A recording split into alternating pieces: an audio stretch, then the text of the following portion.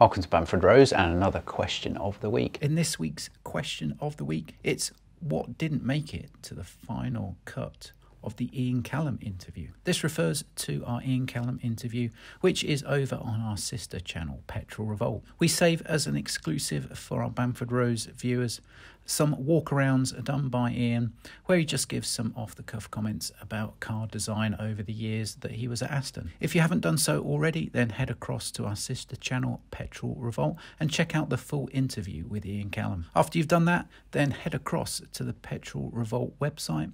Subscribe by filling out your details to get your Petrol Revolt black rear registration plate sticker. So sit back and enjoy watching and listening to the random ramblings of a car designer.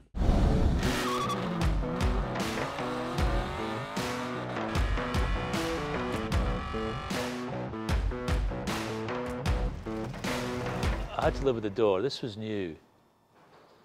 And I looked at highlights and they were all wrong. And then I noticed that we got this section here wrong relative to this one. And I was absolutely livid with myself. And it was, it was gone. I would scanned it, it was getting surfaced, it was finished. And every time I see a V12 now, I, I kick myself when I look at this. The highlights here are dreadful. The boxing glove mirrors, as I call them. Um, we changed that in the Callum version. We did a much sportier mirror on it, which is much nicer. But these came off of X, the same, came off the Jaguar XK. But the first Astons had Citroen mirrors on them. The six-cylinder car had the ones that came off the door, and there was Citroen CX mirror. Uh, actually, that's nicer. More like Porsche mirrors. You know. The DLO. This this is just drove me mad, because this part here is actually off XK. It's just an extrusion, as this is. And I said, well, we've got to join it together. And Bob said, no, there's no money. That's it. Oh, horrible. then the big filler cap had to look like something out of Halfords. It's worth. That's Yeah. the most classic. Yeah, this is the, this is where we, we, we in the clay model. Remember, this is in the clay. This would all be intersections. So this has just come straight, and this would be an intersection with no radius in here. And it took the line, lines went like that. I said, right, hold it. That's it. And that line stayed. That was it. Uh, when we came to do the um, uh, the production car, we had to pull this body side out, 25 millimeters. If you look at the original one, it's much slimmer here. This is much further in. I think the glass plane's in the same place, but this isn't, it hasn't got as much shape to it. But one of the nice features, I didn't mention it, one of the nice features is this, this um, trim. I wanted to do something different with the trim, so we, we, we made this chrome part on the outside because it runs down and runs around the back of the window. It's actually quite a nice detail. It's different. Rather than putting the trim around the glass, we swooped it down across the back. Something um, we probably didn't mention, we, we got into all issues. We didn't want to put a nose in the car like the other cars have. And um, and I think it was um, I think it was Bez actually said we want this without the nose. So we tried to find a way this would meet the American five mile an hour impact. And the way we got round it was we, we put a, a, a, the, the plinth of the, the number plate on the American cars were quite thick. And that was the impact point. So it wasn't here. That's why we didn't have to put a soft nose on it. Got away with it. But then they don't fit very well, do they? But it's just a very simple line, this. This is all very delicate compared with some of the other cars. And in principle, it's very similar to the to the Vanquish. The way this just sweeps up and there's the offset and runs round.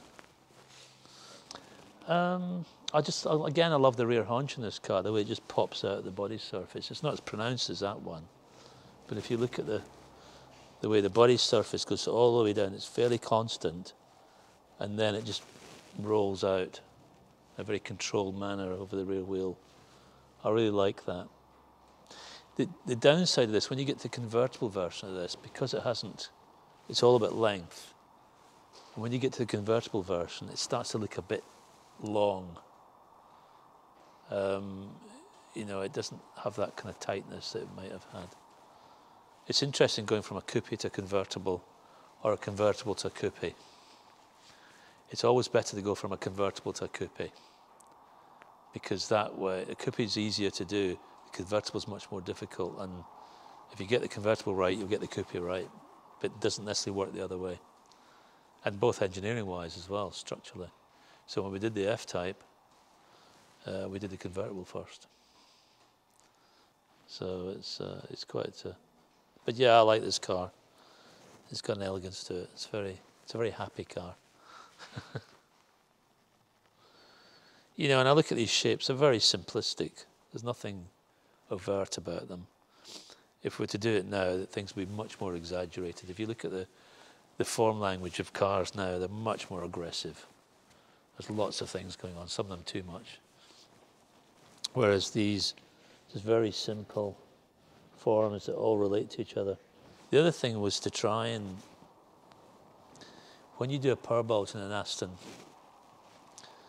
to try and try and get a bit of shadow here. So it, it, it almost emulates, remember the DB4s and 5s that had the vent at the front? And in order to try and emulate that, you get a little bit of shadow. So in some light, it gets dark across here, especially on the Vanquish and it kind of emulates a little bit of that nostril that you used to see in the old DBs. That was deliberate. It could flow all the way straight through, but it doesn't. It goes down and goes goes round. And and the, and the other important thing is is where it starts. If it starts further down, it's a Jaguar. If it starts further back, it's an Aston. Point of differentiation. So when we did the XK, we made sure it came all the way to the front. And the Aston was further back. and of course the XK picked up that typical parallel line that Jaguars had, you know, like the XJ had. Whereas this was much more of a, an integrated bonnet bulge. You know, so the one area that did change in the, on the, um, the 9 was that uh, originally I had two roundels in here and they just cut in to the, the bumper. It was still a lamp, this shape, but it just had graphics of roundels. And, uh, and Fisker decided that um, they looked like a Honda, so he decided to create this design, which is fine. I've got no problem with that. I think it works quite well. But the part I like is just the way it sweeps off here and rolls back in. It's important that it either stops at the door and breaks on the door deliberately, as some cars do, or it runs through.